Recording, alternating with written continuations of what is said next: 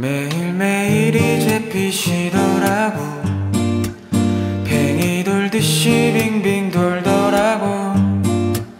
어른이 나는 따분한 벌레들이 야금야금 꿈을 좀 먹더라고. 나는 자라겨운 애가 되겠지.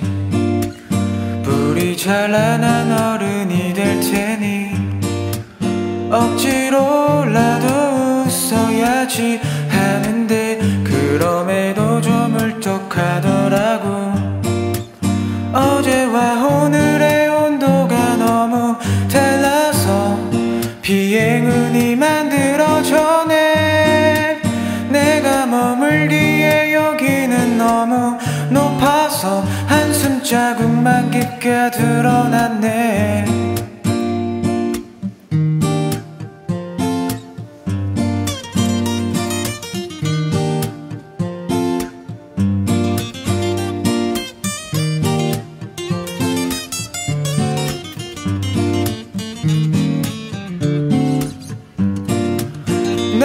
자라겨운 애가 되겠지.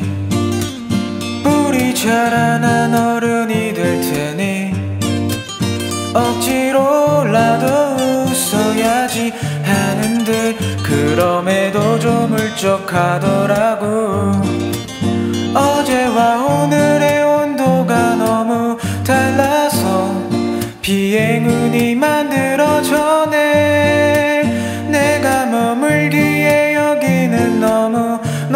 높아서 한숨 자국만 깊게 드러났네. 어제와 오늘의 온도가 너무 달라서 비행운이 만들어져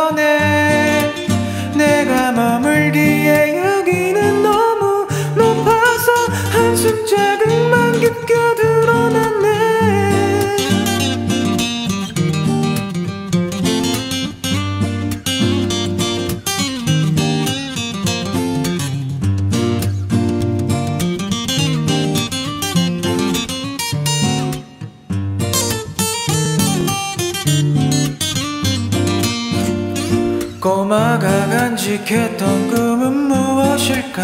오래된 일기장을 꺼내봤네. 1996년 7월 20일엔 우주 비행사라고 적어놨네